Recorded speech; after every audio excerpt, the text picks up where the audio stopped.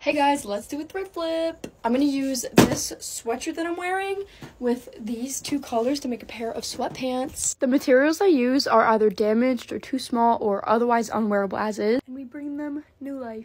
My fabric is all cut up, the waistbands and elastics, and the hoods. Let's get to laying out. First leg's all done. I already love this colorway. All four legs are laid out, now we're gonna stitch each patch together. I sewed all the patches together. Now we can pin. Now we can put the legs together. We have legs! Now let's attach them. Now it's all attached, I just have to add the ankles and the waistband. All set to sew, and then we'll be done. Here's how they turned out.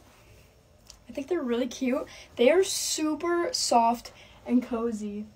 They have three pockets. Let me know if you'd wear these.